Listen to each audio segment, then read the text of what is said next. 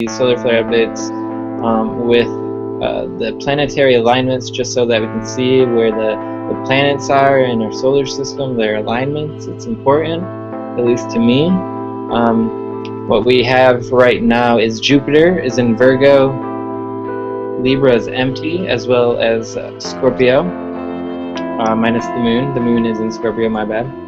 Sorry, sorry, Sean. Libra? Yeah.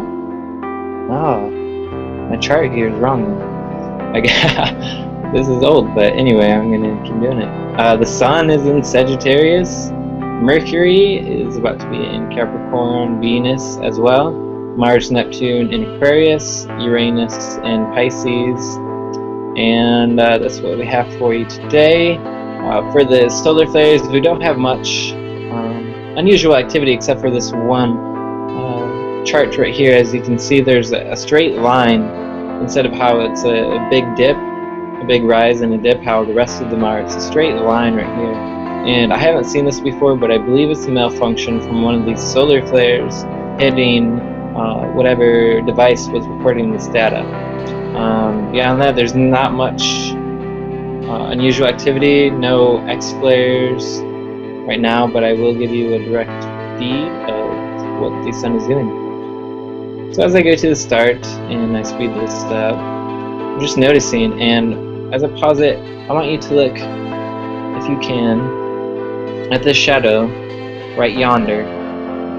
If you were tuning in last week, you also noticed the shadow was in the feed, and I feel this could be uh, sort of an effect from uh, the planet that was going by and it just kind of stayed into that.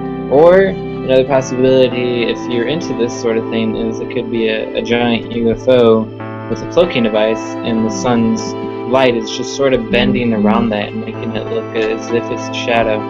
Um, I'm not going to say which one I feel is is right, but I just want you to notice that and maybe if you're interested, uh, you can dive into that. And if you find anything out, let us know. So I'm going to continue this, and the shadow will disappear right there.